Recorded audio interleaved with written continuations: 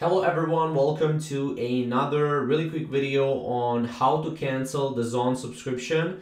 Now, before we get started with this uh, tutorial, make sure to check out our other tutorials on our channel if you want to see more videos just like this. So, how can you cancel DAZN subscription? It's actually very easy. Now, if you purchased your DAZN subscription through third parties such as uh, you know, maybe Roku or any other third party, you will need to cancel it through that third party. So for example, if you purchase it with Apple Pay, you will need to cancel it through Apple Pay. You cannot actually cancel it through DAZN.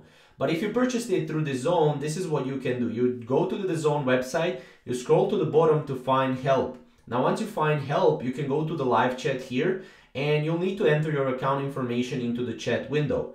Now once connected to a customer service rep, state that you want to cancel. You can also restart or you can cancel your DAZN subscriptions by going to your uh, DAZN uh, account settings and from there you can also go and cancel your subscription. However, if you want the fastest route, that is pretty much the fastest route, but this is also a one a good route that you can take uh, yourself too if you want to go and if you want to cancel DAZN subscription. So uh, it's very simple again. If you're using third-party software such as Amazon or maybe uh, Apple Pay, you will need to cancel through Apple Pay or Amazon. However, if you're doing it through here, you can do it through DAZN platform. So hopefully you guys enjoyed the video. Hopefully you find it useful and we'll see you in the next video. Thank you guys for watching.